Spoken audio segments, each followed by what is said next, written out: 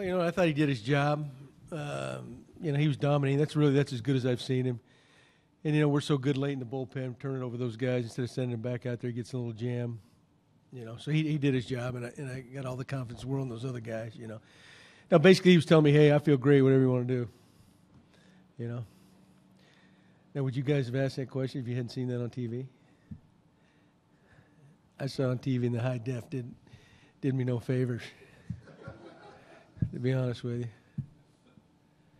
John, how, how big of a performance was that from Grilli, given the fact that, you, you know, the game was still on the line there, and then he, he gave up that triple, and then, you know, the guy's standing at third, and he got that strikeout. Well, you know, I really you can't say enough good things about what Grilli's done. You know, since he's since he's been there, he's been pretty. Uh, you know, maybe a couple games. I think he gave up a co- couple home runs. I mean, other than that, you know, it's been lights out. You know, same way with Benoit. I think he's given up one run since he's been here. So, you know, without those two guys, I mean, we're not sitting where we're at, we're at right now. Uh, we're, you know, we're we're probably planning for the offseason, if you don't want to know the truth. Um, so they, they've made they've made a huge difference down there, and uh, but like I said, going back to Stro, that's as good as I've ever seen him. You know, I've seen a number of his starts. Uh, it's late in the season; he's got to be tired. You know, he's thrown more innings than he ever has. Uh, and then, of course, you know, with with two outs, the big hit by Donaldson, and Eddie getting on, and then you know Hosey doing his thing. You know, I mean, Hosey's been known to do some dramatic things. So, yeah, what a, I mean, it was a hell of a game. Just to follow up, the second, the last six or seven games, Grilli's been pretty lights out ever since he gave up four runs, and I guess it was in Baltimore. Or, anyway, were you worried at the time that maybe his age was catching up to him, but now he's back on a roll?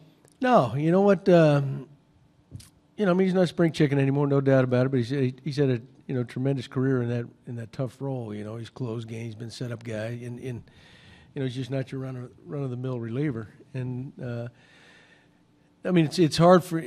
I mean, what really what those two have done here, him and Benoit, I'm speaking of, is is to come over here and, and, and really to be everything be as clean as it's been. You know, uh, even the best relievers give up something, and you know, but really both those guys, and you know, they they've got some innings under their belt here too. You know, so. I mean that's that's that's part of it, but no, I mean I've never doubted that. Uh, I mean he's a very emotional guy. He thrives on emotion.